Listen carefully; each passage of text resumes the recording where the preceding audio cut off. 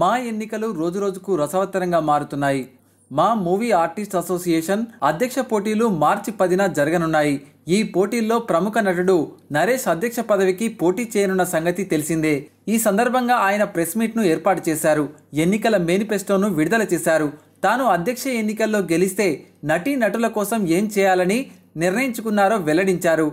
నటీనటుల పింఛన్లపై మూడు నెలల పాటు సమగ్రంగా సర్వే చేయించారని తెలిపారు. మా సభ్యులందరూ సంతోషకరమైన హోందా జీవితాన్ని గడపాలని నా విజన్ అని తెలిపారు. వయసు పైబడిన ఆర్టిస్టులకు ప్రతి నెల రూపాయలు ఐదు వేల పెన్షన్ ఇప్పిస్తాను. మెడికల్ జీవిత బీమా సదుపాయం కల్పిస్తాను. మహిళా ఆర్టిస్టులకు ఎదురయ్యే సమస్యలు ప్రపంచవ్యాప్తంగా సర్వసాధారణమైనవి.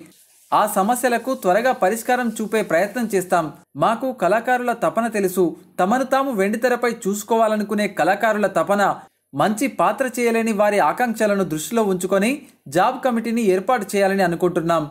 మా సభ్యులందరికీ సినిమాల్లో మంచి అవకాశాలు దొరికేలా కృషి చేస్తామని వెల్లడించారు నరేష్. మరోపక్క శివాజీరాజా సైతం హామీలను గుప్పిస్తున్నారు. ఇద్దరిలో ఎవరు బెస్ట్ అని మీరు భావిస్తున్నారో మీ అభిప్రాయాన్ని కామెంట్ రూపంలో తెలియజేయండి.